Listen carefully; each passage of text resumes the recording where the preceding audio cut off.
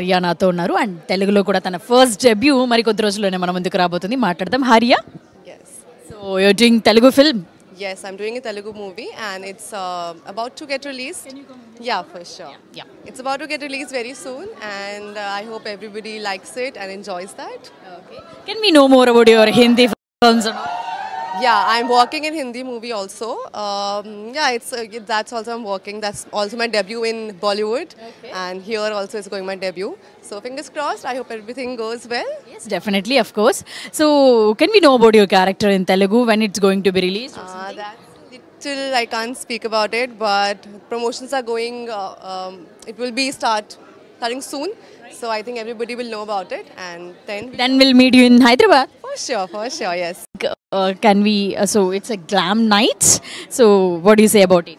It's nice. I think it's uh, it's nice when uh, Bollywood and Tollywood industries are combining together and uh, both the industries are doing really well and it will be a horsepower indeed when the both will combine together. So hoping for the best and all the best for future. Thank you. Thank you.